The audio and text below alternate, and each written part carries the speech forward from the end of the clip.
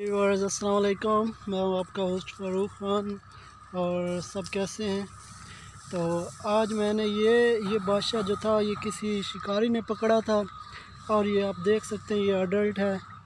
اور وہ چھوڑ نہیں رہا تھا، بہت اس کو ریکویسٹ کی اور ریکویسٹ کر کر کے اس سے میں نے لیا ہے.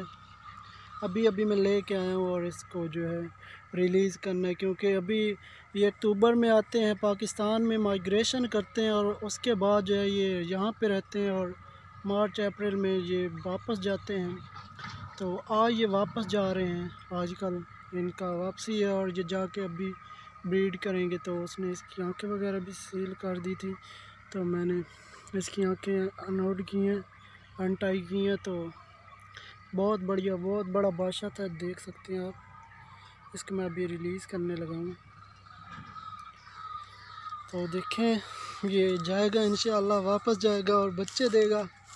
تو نئے جو جوینائل ہوں گے، وہ ساتھ لے کے آئے گا، وہ رکھیں گے ہم۔ بہت ہی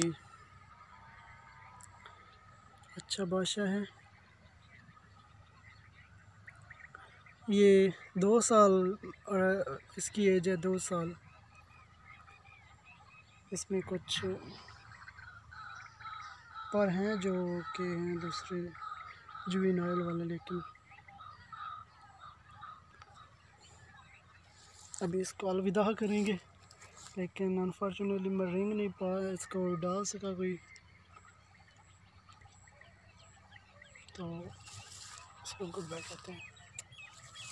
Go. جس گوئنگ بہت بڑھیا دیکھ سکتے ہیں آپ وہ جا رہا ہے پرندے بھی ڈر رہے ہیں اس سے وہ ہو گیا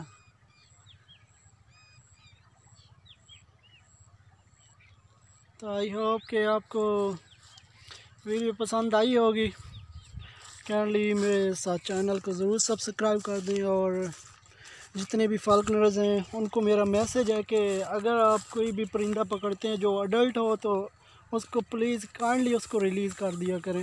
کیونکہ اڈلٹ پرندہ ایک تو اس نے زیادہ عرصہ جو ہے وہ جنگل میں گزارا ہوتا ہے، اس نے اپنے ایک انوائرمنٹ میں گزارا ہوتا ہے، تو وہ اتنا جلدی ٹائم بھی نہیں ہوتا۔